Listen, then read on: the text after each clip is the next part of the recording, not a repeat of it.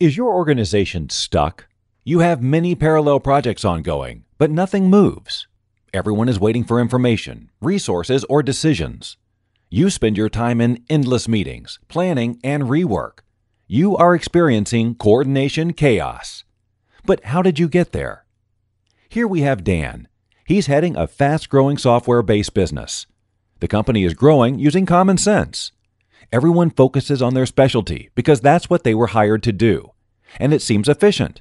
Talented, enthusiastic people just make it work. The success is based on the informal communication network. Specialization works, and it becomes the unquestioned norm. So, whenever there is a problem, a new kind of specialist is hired or nominated. The number of specialists keeps increasing, and the complexity grows. In order to get things done, the company now hires a coordination specialist.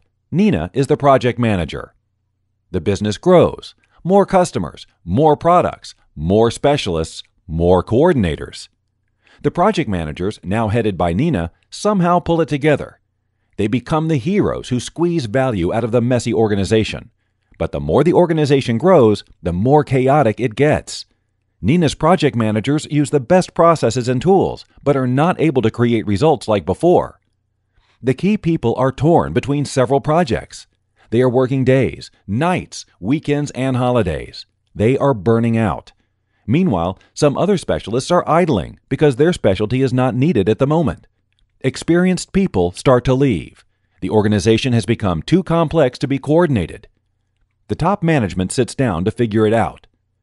Resources are not optimally allocated. The people should focus more on the projects and less on other stuff. We have to tighten the ship, clarify the roles and responsibilities, define detailed processes, measure and reward individual performance. This is what management consultants advise. Unfortunately, the management action breaks the informal knowledge sharing network, and things get even messier. More control and more bureaucrats, but less outcome. The company becomes slow and expensive compared to emerging rivals. The top management tries to find another solution. We still have a strong customer base, but the new competitors eat our profit margin.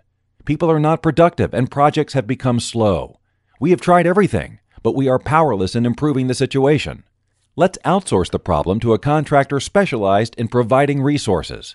We can then control the contractor by commercial agreements. Nina has studied some lean and agile. She disagrees with the management plan. Dan sees the challenges with outsourcing. The problem is not about people, it is the system. Outsourcing the leadership problem would complicate things even more.